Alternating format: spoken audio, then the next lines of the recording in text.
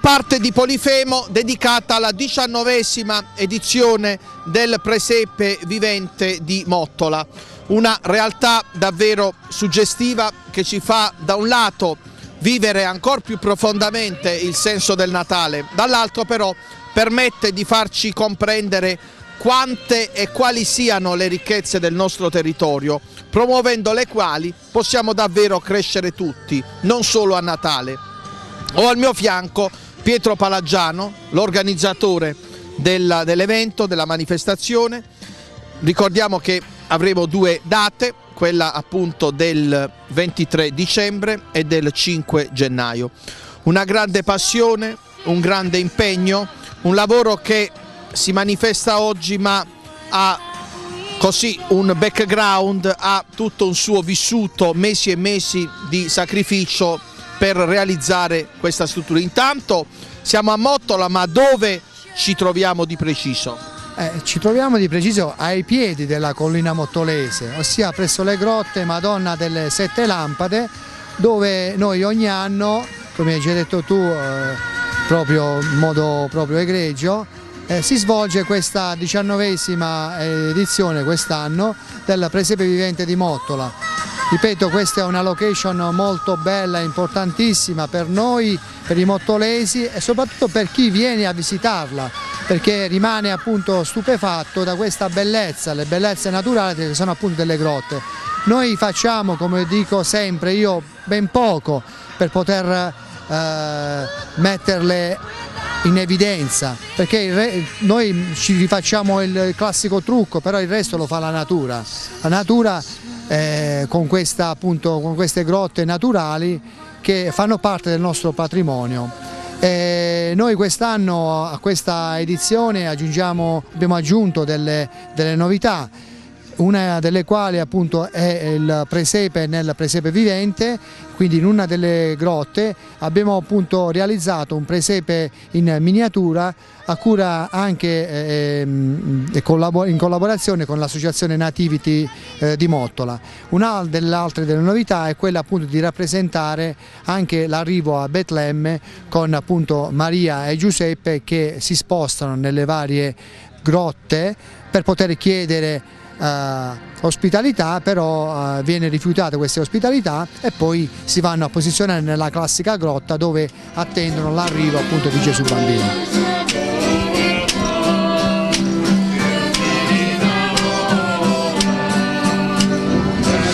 Sindaco, un presepe che eh, non rappresenta soltanto un fatto religioso ma anche una valenza ai fini del marketing territoriale, della promozione del territorio per far sì che eh, Mottola possa essere un punto fondamentale eh, per l'immagine di Taranto in, in Puglia e non solo. Sì, sicuramente, quest'anno eh, siamo arrivati alla diciannovesima edizione, ogni anno ci sono degli elementi di originalità che rendono sempre questo presepe più magico e più apprezzato da chi viene a guardarlo, sia dai cittadini mottolesi ma anche e soprattutto da tutti coloro che vengono dalla regione e anche da fuori regione perché ormai sta diventando un appuntamento e una tappa fissa per tanti. Ecco, da mottolese come si sente questa sera? Da mottolese quindi ora primo cittadino? Ma sicuramente sono orgoglioso del, dell'immenso lavoro, dell'immenso sacrificio che più di un centinaio di, di, di mottolesi hanno, hanno, prestato per poter regalarci tutto questo. Siamo in uno scenario molto particolare che è quello della Madonna delle Sette Lampade che già si presta naturalmente a questo tipo di manifestazione perché è molto suggestivo, però è chiaro che ci vuole tanto del lavoro e del sacrificio di tante persone per poterci regalare quello che stiamo vedendo stasera.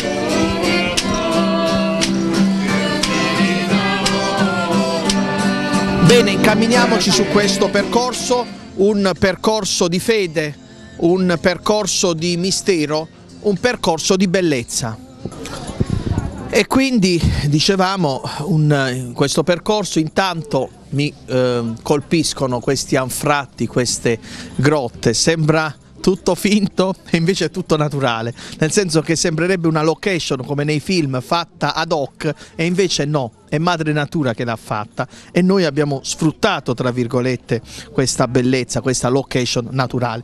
Qui abbiamo la riproduzione delle donne che alcune lavorano eh, qui la lana, altre sono intente a, eh, altre a fare altri lavori di cucito, altre a cucinare sì. a fare lavori di, proprio di produzione di, di pasta. Sì, produzione di pasta, quindi lavori di casa più che altro a quello che si faceva una volta nelle case, in questo caso appunto nelle, nelle grotte, bellissime grotte che stiamo ripercorrendo insieme.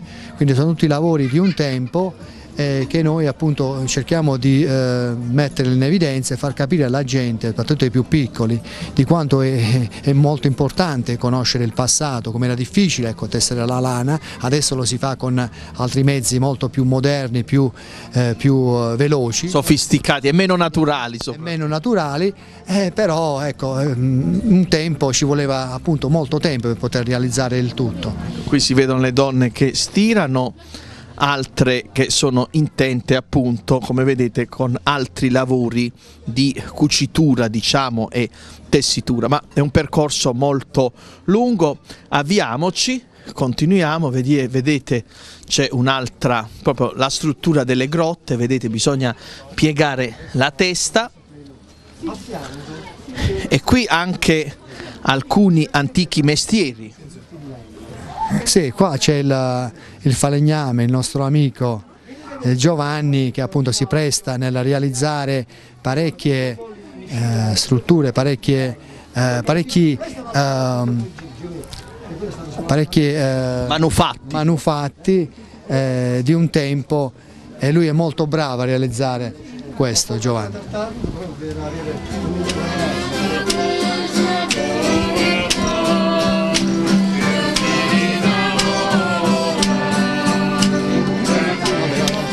E qui ci accoglie la musica natalizia, una splendida fisarmonica, tu scendi dalle stelle.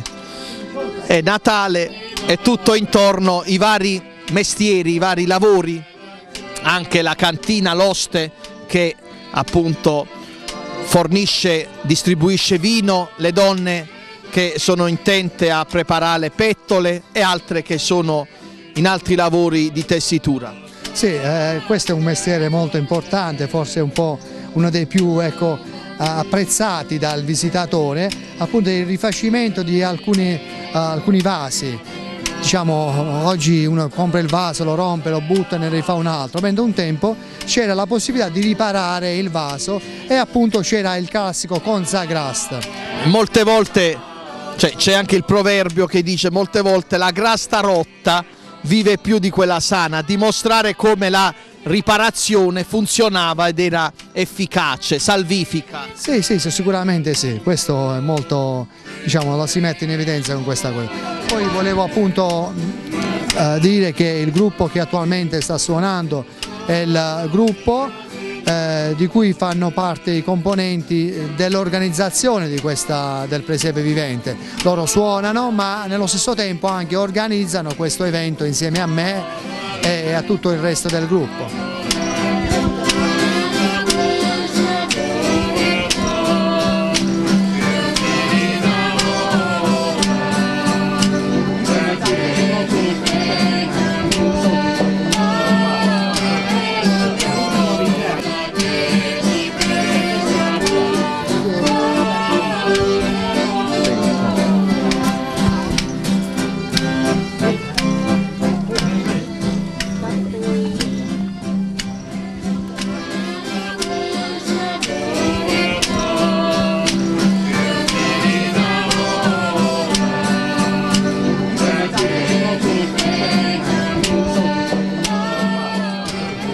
È tutto naturale, una conca d'acqua, un laghetto simula, eh, questa sembra un, appunto un laghetto, questa conca che simula un laghetto in cui le donne eh, con, lo, con il classico stricaturo andavano a lavare i, i panni. Oggi c'è la lavastoviglie, ah, c'è la, la lavatrice, la lavastoviglie, ci sono tanti strumenti, ma all'epoca si lavava come dire, con olio di gomito. L'olio di gomito con, con, la cenere, con la cenere, con il grasso, con tutte diciamo, le sostanze naturali e appunto si sentiva anche l'odore del, del, del, bucato di un tempo. Forse meno ecco, um, eh, diciamo, appunto, odoroso, però era molto più efficace. Genuino. Genuino, eh, genuino.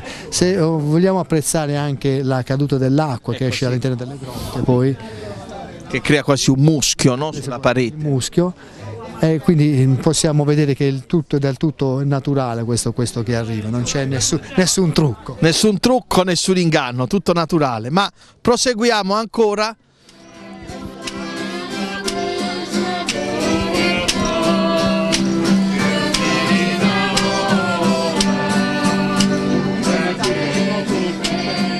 Ecco, intanto abbiamo un centurione, lo guardate, è una figura tipica e quindi eh, in tutta quest'area si eh, riproducono, mi pare di capire, gli antichi mestieri.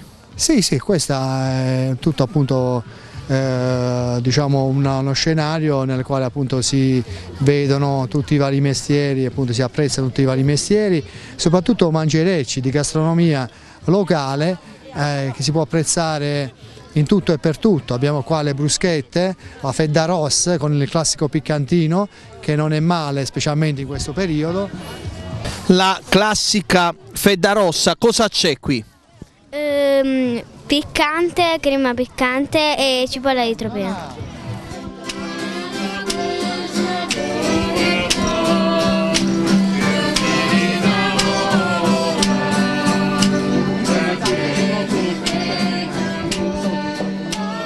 Ritorniamo su questa, questa immagine del mulino, mulino a vento realizzato in poco tempo. Questo è stato realizzato in poco più di sette ore più o meno da due nostri amici appunto del gruppo Folk e anche dei volontari, ossia Luigi e uh, Vittorio, due persone che ripeto in sette ore hanno realizzato questo magnifico mulino funzionante a tutti gli effetti, sì, funzionante a tutti gli effetti. Ecco guardate il mulino funziona, le eliche, le eliche girano, vedete?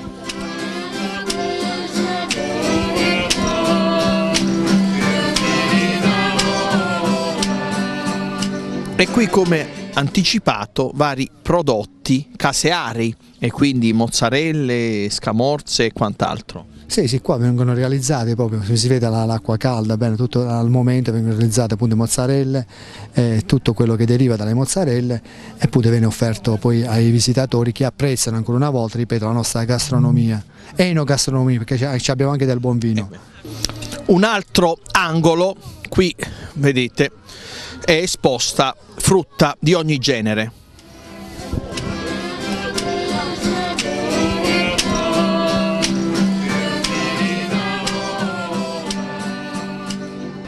Ecco un altro miracolo della natura, una grotta abbastanza scoscesa e qui si eh, preparano le pettole. Sì, qui eh, vengono appunto preparate le pettole e questa è un'altra bellissima grotta che va a comunicare con l'altra che abbiamo visto prima dove venivano realizzate e preparate le, le, mozzarelle.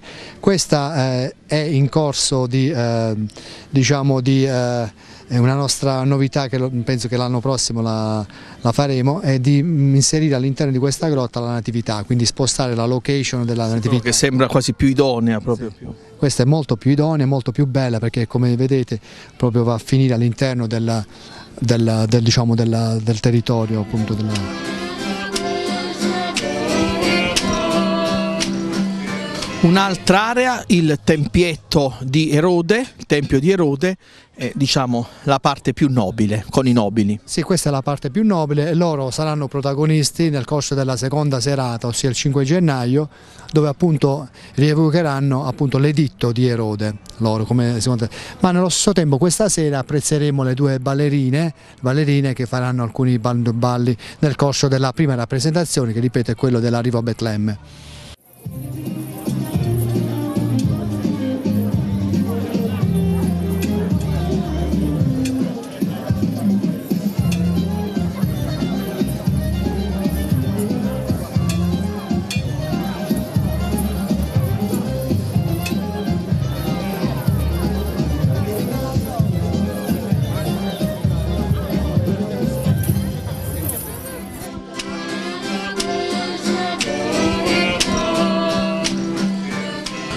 Un'altra peculiarità, un presepe nel presepe. Sì, il presepe nel, nel presepe vivente, questa è un'altra novità, ossia appunto questa realizzazione da parte degli amici eh, dell'associazione Nativity di Mottola che appunto che hanno realizzato questo presepe con alcune statuine eh, alte circa un metro che mh, mm, sono del, diciamo, della mh, mm, seconda metà del, del XX secolo.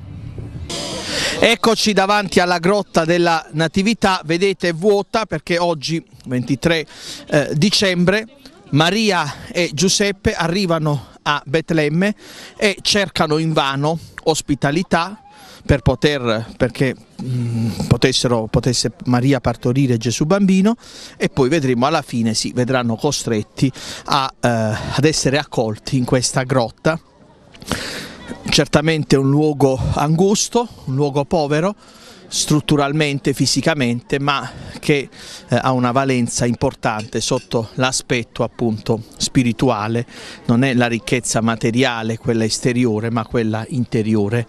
E Gesù bambino è nato in una grotta, il re dei re è nato in una grotta, non in una reggia. Questo è il significato profondo. Dicevo in questo momento Maria e Giuseppe stanno arrivando a Betlemme e quindi ci sarà proprio una rappresentazione che eh, ripercorre questo arrivo. Sì, sicuramente, detto benissimo, tra qualche minuto noi lo eh, appunto rievocheremo questo momento e lo faremo più volte appunto per dare la possibilità ai visitatori di apprezzare questo momento. Ripeto, lo eh, ripeteremo due o tre volte eh, e questa che ci accingiamo a farla adesso è appunto la, la prima volta nel quale appunto eh, serve come messaggio alla gente a far capire che appunto la ricchezza materiale non è assolutamente tutto, anzi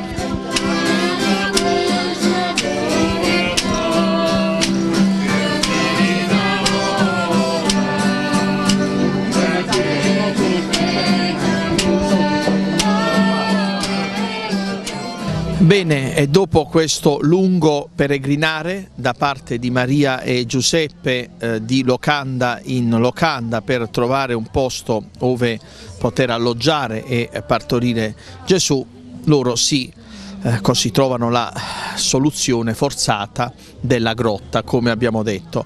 Un po' le conclusioni di questa serata, Pietro Palaggiano, l'organizzatore, e poi l'appuntamento per l'altra eh, manifestazione del Presepe Vivente giorno 5 gennaio.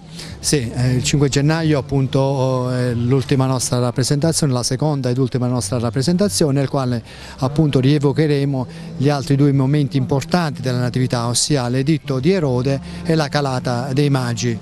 Noi eh, appunto vogliamo ringraziare tutti coloro appunto stanno visitando e visiteranno il nostro presepe vivente, presepe vivente che eh, appunto a detta dei molti, dei tre molti, è molto bello ed importante importante e eh, venendo qui a Mottola a visitare il nostro presepe vivente si rientra proprio nel vero clima natalizio, clima natalizio nel quale appunto si eh, vedono eh, crescere soprattutto i valori importanti morali e spirituali eh, del, del mondo, valori che vanno persi, eh, ultimamente sono persi, però noi attraverso questi piccoli momenti e questa nostra appunto, rappresentazione del presepe vivente cerchiamo di rievocarla in, tutti, in tutte le proprie peculiarità. E proprio questo è il fascino del Natale, i bambini più piccoli gioiscono in questa atmosfera natalizia, ma i più grandi ritornano bambini. Sì, i più grandi ritornano bambini, appunto vivendo questi momenti eh, eh ritornano appunto, come hai già detto tu, ritornano bambini eh, eh, e si immergono proprio profondamente in questo, in questo clima bellissimo ehm, e, è, cioè, questo è molto importante per noi perché così si cresce, si cresce e si apprezza soprattutto il lavoro che noi svolgiamo, facciamo tutti gli anni, un, circa più di un mese prima del, del, dell'evento e quindi questo per noi è molto importante eh, colpire proprio nel vero segno, nel senso della parola, appunto con un messaggio molto importante relativo appunto alla natività.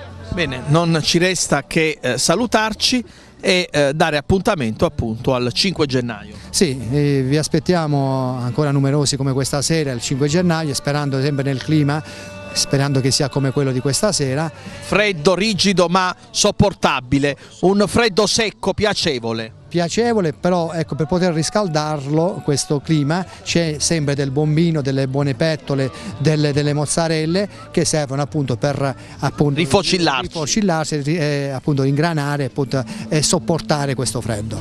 Termina qui la parte relativa al presepe vivente di Mottola, una sensazione bellissima, un uh, sentire davvero il Natale, ma lo sentiremo a seguire con un nuovo presepe, quello di Lizzano. A tra poco.